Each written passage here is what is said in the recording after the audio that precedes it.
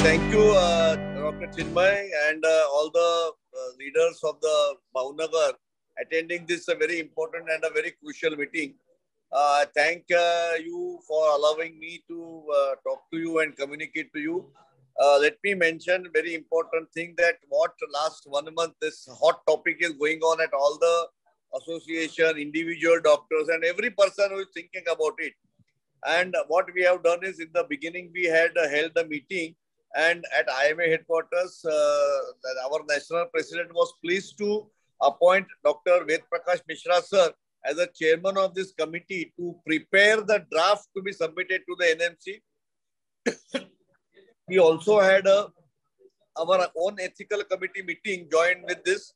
Subsequently, we wrote every branch president and uh, every members that whatever suggestions they want to add, please give it to us. And last two weeks, in fact, I've been collecting lot of data, lot of inputs received from various other associations also. Like for example, surgical association or a gynec association and small, small associations have given us input. So all those inputs we have collectively given to Ved Prakash Mishra sir and la, uh, two days, today and tomorrow, he is going to prepare the entire draft which will be circulated to all our branch president secretaries and then we will discuss with them any extra inputs is needed from your side and it will be available on our website and our domain also. Subsequently, next week we refine that uh, your suggestions and give it to the NMC in person as well as in soft copy.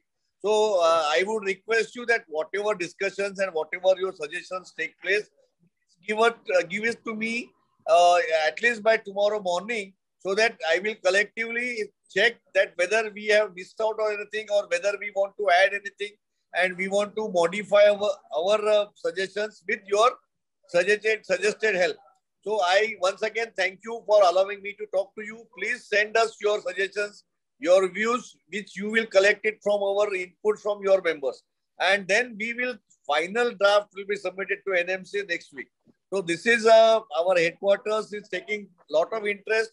Our proper uh, committee has been formed and they will be doing the needful as they did for it is in the interest of every doctor and the association for this matter. Thank you so much for allowing me to talk and communicate. Thank you. Over to you.